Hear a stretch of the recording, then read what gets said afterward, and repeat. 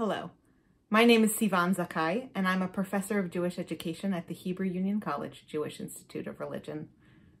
Since the turn of the millennium, the American Jewish community has invested unprecedented time and money into cultivating young Jews' connections to and understanding of Israel. There has long been a substantive body of empirical research to help the Jewish community understand American Jewish teenagers and young adults but there has been virtually no scholarship about how the youngest members of the Jewish community, our children, learn, think, and feel about Israel. The Children's Learning About Israel Project, housed at the Jack Joseph and Morton Mandel Center for Studies in Jewish Education at Brandeis University, was created to address this glaring knowledge gap.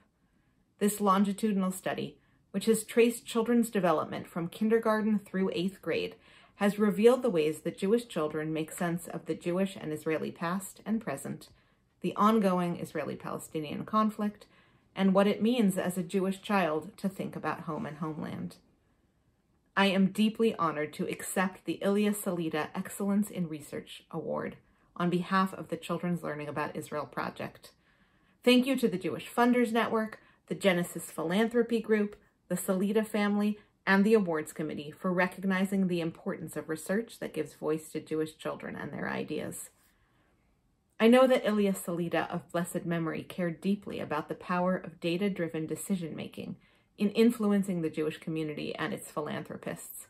I share that commitment, and when I first launched this study in 2012, I knew that in order to help Jewish schools, synagogues, and community institutions best support Jewish children, I would need to partner with Jewish children. I want to thank the children in this study who year after year of their childhood and adolescence devoted time to this research. While the knowledge created from this project has long been important for Jewish education, the tragic events of October 7th and its ongoing ripples have added new urgency to this work. Although we never could have anticipated this difficult time, the Children's Learning About Israel Project has been studying how American Jewish children processed every Israel-Gaza war since 2012.